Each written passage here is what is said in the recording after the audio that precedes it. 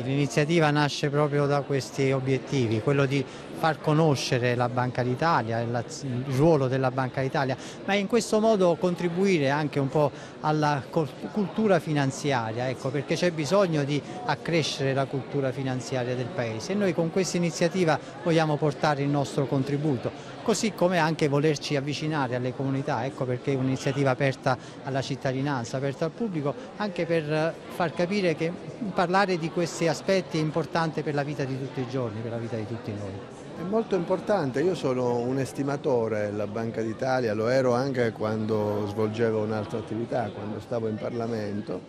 perché la Banca d'Italia ha uno dei centri studi più importanti del Paese, ha la capacità di misurare l'impatto delle politiche pubbliche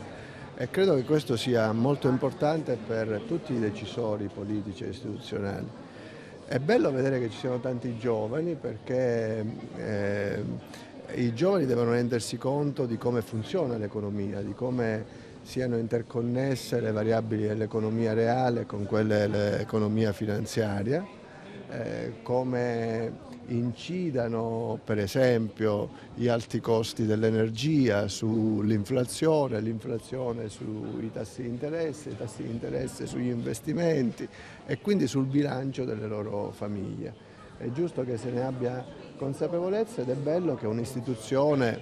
eh, che molti vedono come distante, eh, come la Banca d'Italia, invece si apra a, alla conoscenza e alla divulgazione di questi contenuti, soprattutto con tanti giovani che vedo oggi qui presenti. La Corte dei Conti ha detto sostanzialmente che c'è evidentemente un cambio di passo in molti ambiti, persino nella sanità dove ancora dobbiamo fare molto per garantire il diritto alla cura dei calabresi, ma per esempio la Corte dei Conti ha riconosciuto che la contabilità della Calabria non è più orale come si diceva un tempo, abbiamo quantificato il debito, abbiamo dimostrato che siamo in avanzo di amministrazione,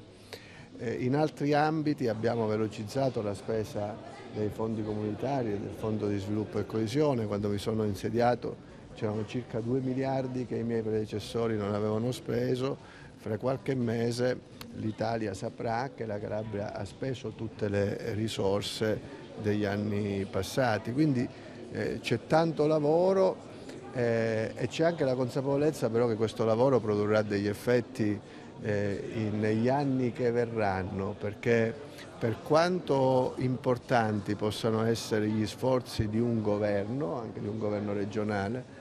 eh, soprattutto in Calabria dove ogni anno 15.000, 20.000 ragazzi lasciano la Calabria, eh, si determina una situazione per la quale eh, vanno via non solo 15.000, 16.000 vite, speranze, pezzi di futuro, vanno via 15.000, 20.000 pezzi di prodotto interno individuale che quindi sostanzialmente fanno diminuire costantemente il prodotto interno della regione quindi l'intervento sui dati macroeconomici è molto più lento e si avrà davvero quando ci saranno eh, reali possibilità per i giovani di rimanere in Calabria e di costruire in Calabria le loro occasioni di lavoro.